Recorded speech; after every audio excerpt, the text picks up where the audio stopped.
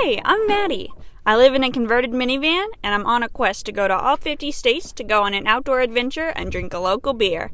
Come join me in Iowa.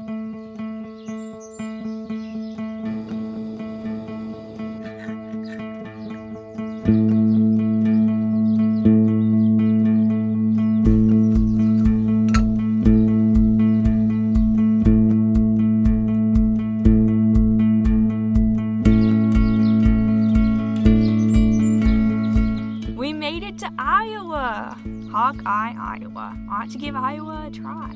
But I am so glad to be here. We are going on my first caving adventure of the road trip, going to Maquoketa Caves.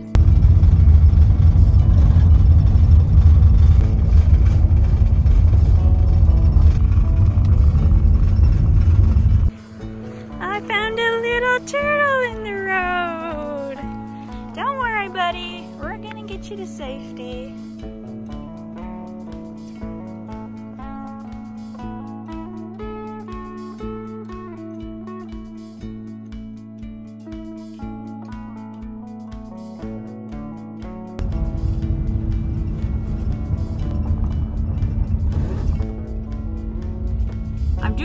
Road trip through all 50 states in legs, and this is the first stop on my last leg besides Alaska and Hawaii. In the break I took from being on the road, I had so much to do. Doing stuff for my van, doing stuff for my YouTube channel. I have so much stuff I don't use anymore, and I'm trying to sell it to have a little extra money, and it's so frustrating. I had so much to do that I just one day I was like, okay, I'm not doing anything. I kind of got into the habit of just spending all day on social media. When I finally admitted to myself that I wasn't doing okay and I needed to do something about it, I made an appointment with my therapist, which flows really nicely because this video is sponsored by BetterHelp. BetterHelp, um, Better H E L P is a, a s- online counseling service that's customized to you. If you don't know what it is, you go online, you fill out a questionnaire, and then 48 hours later, you're matched with a therapist. And there's over 20,000 therapists, so you can have access to a specialty that might not be available in your area. So that's a perk for sure. And then when you meet your therapist. Um, maybe it's not really what you had in mind. It's um, not the vibe. Then you can easily request a new therapist at any charge and at no cost to you. You can schedule video or phone sessions and exchange unlimited chat messages. There's over 2 million people that use BetterHelp. In fact, there's so many people that use it that they're actually recruiting therapists in all 50 states. And because BetterHelp is sponsoring this video, if you go to betterhelp.com slash beer in beautiful places, you can get 10% off your first month. So I made an appointment with my therapist and she reached out through chat and said, if you want, to have an availability tonight. And I said, no, that's okay because I already had plans for that night. So I was like, no, I'll just wait. But what's really cool is that in the few days it took for it to be time for my appointment, I had already started getting my mind back on track from what I had learned from my previous BetterHelp sessions. And I think that just that just says a lot about the quality of care you're getting with them. Thanks again to BetterHelp for sponsoring this video. And so that's why it means so much to me to be back here, to be on the road and kind of moving past that not fun time. I am ready to get back out there and keep exploring our world. Let's go.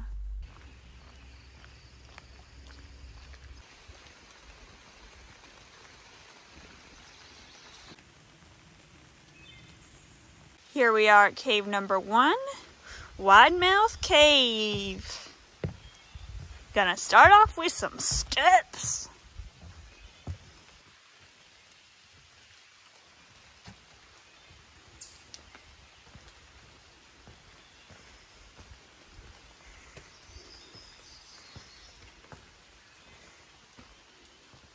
I'm really pleasantly surprised with the amount of light that's showing up on the camera.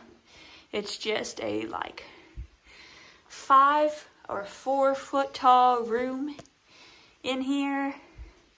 That would be less than a meter for all our metric system friends.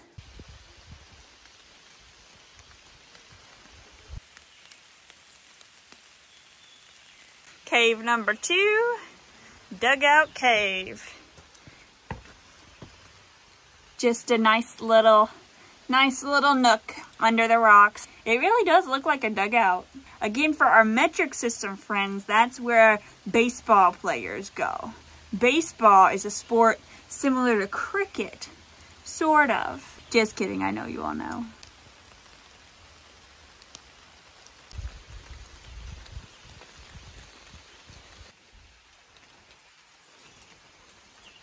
Okay, time for up and down cave. This is what made me want to come to this cave system is that they have caves you can literally crawl through.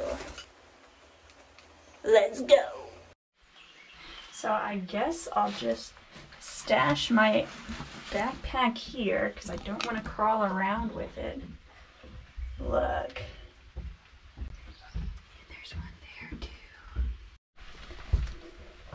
Into the unknown. I'm just trying to arrange myself. So many bugs in here. trying to arrange myself so I can step down into this cave.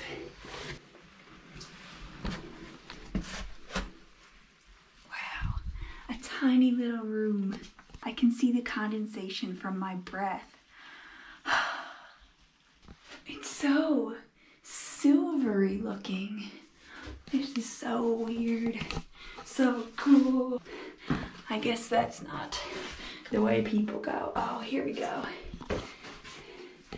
Oh gosh, I don't think I'll fit. Gotta try though. At least I'll get up there.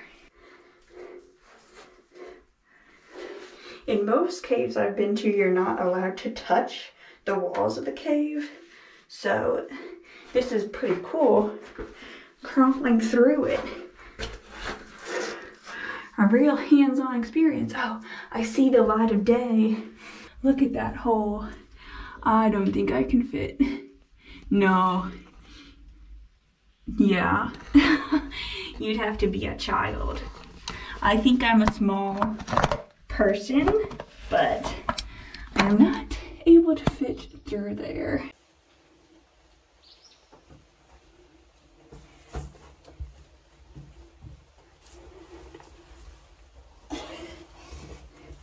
This is gonna be difficult because I don't have a place to put my foot.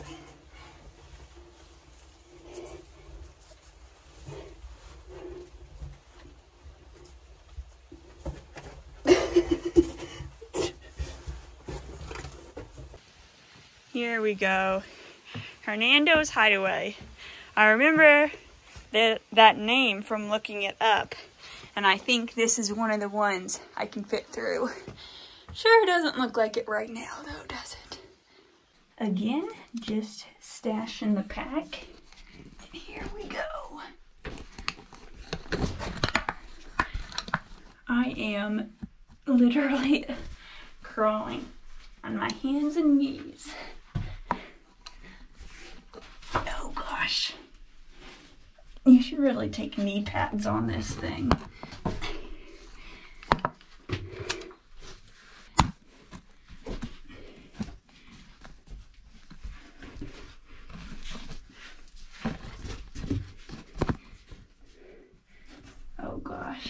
I think I may turn around because this is really difficult. At this point, this is more of an mermaid drag than a army crawl.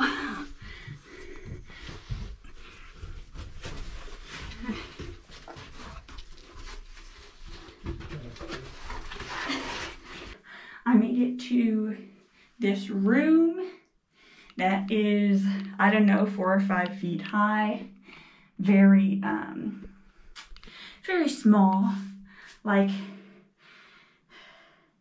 the size of a handicap stall in a bathroom, kind of small. Um, yeah, this is kind of a lot of work. I thought it was gonna come out somewhere, but I mean, this room is cool too.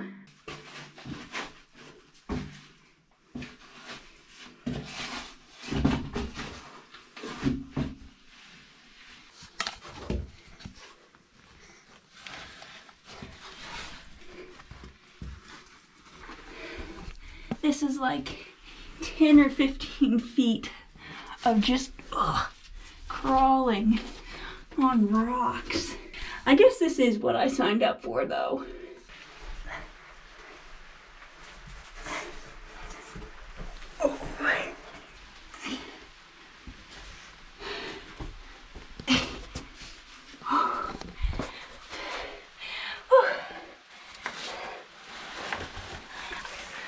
Again, that's one I would recommend only if you're a kid or have a child-sized body.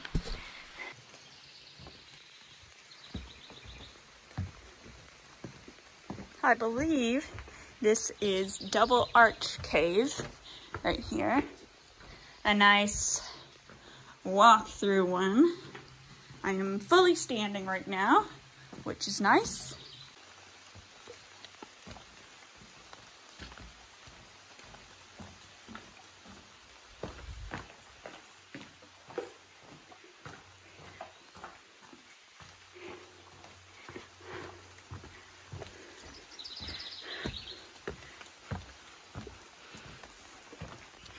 We're down away from the boardwalks now, and I believe this is Natural Bridge.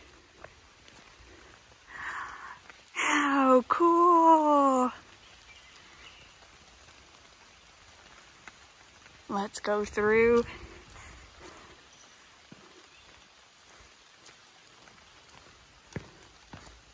It looks like it's a portal to a unknown world.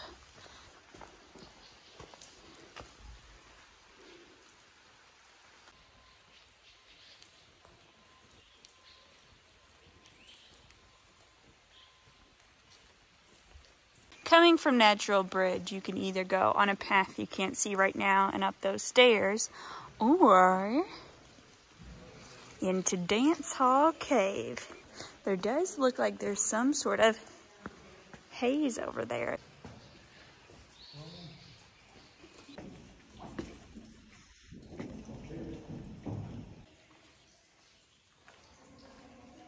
This is so cool. This feels like something in Europe that the ancient Romans built or something. It does not feel like Iowa.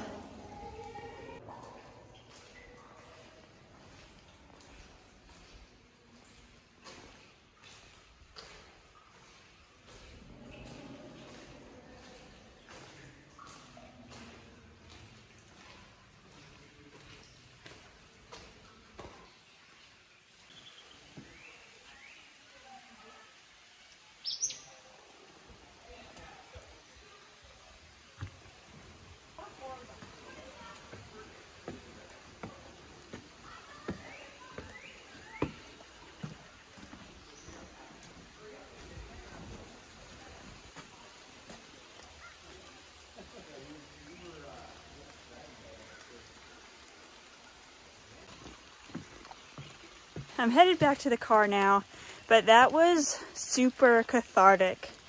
Feeling the mud on my skin, listening to the rain, just being out here in nature.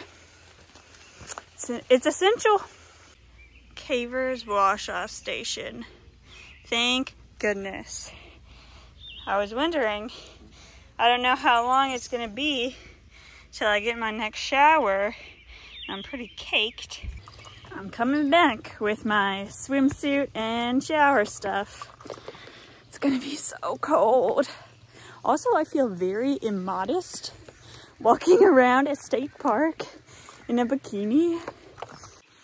And of course, there's people up here who are getting onto that bus not that far from me. This is so embarrassing. the things we do to live in a van.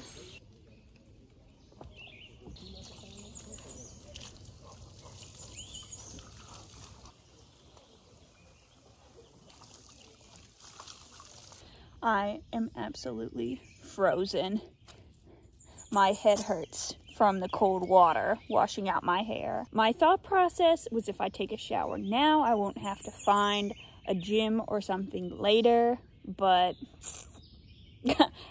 that's a heavy price to pay to be this cold. Luckily, it's only about 2.30, so I'm gonna get some driving in for the day. We're in the part of Iowa that I like to call the nose.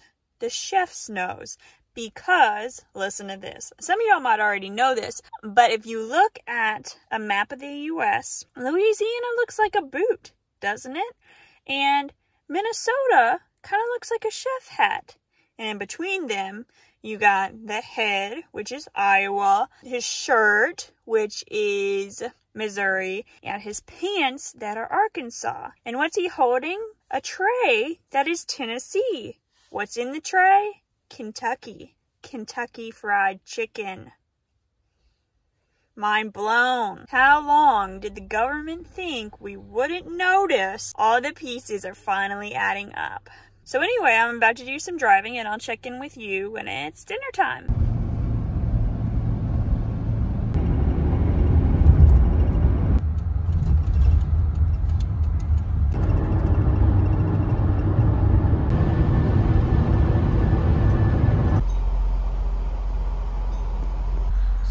If it's super loud. I am staying at a truck stop tonight and maybe I have to move because this is just it's not peaceful at all. Man. Oh, okay. But I'm gonna at least try to do my beer tasting here. I drove all the way from the uh, east end of the state to the west end. I stopped in Des Moines to post my video for this week and I also had dinner, had a good old spin sand and by that I mean a spinach sandwich because I don't have anything else. The cheese I have had uh, was moldy so I threw that out instead of eating it. Not my best dinner, but let's see if we can make up for that in beer. I got my first, what's this called? Growler from Maquoketa Brewing, which is the name of the small town in a river actually near the caves we went to today. It is an American ale. It's called Pappy's Ale, I think. Nope, it's just called Pappy's. This is Pappy. Pappy likes beer. Me too, bud. Cheers to that. It's very weedy. I am saying wheat-y, not weed-y. That'd be kind of gross in a beer.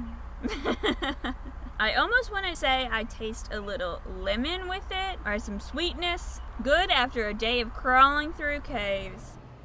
It was getting a little too dark to film without an extra light, so I had to put up my window covers and then turn on my lights to continue this video. And now it's very hot, and that truck is still super loud. These are just one of the days where living in a van doesn't really seem worth it. Obviously, I'm not like, oh, I'm done, but it's not been a good day. Well, the caves part was really fun, and the beer, of course, was good. But just one of those days. I'll keep trying though. I'm going to Nebraska next. I hope you subscribe if you've enjoyed this video and you haven't already. And I hope you have a good rest of your day. Bye.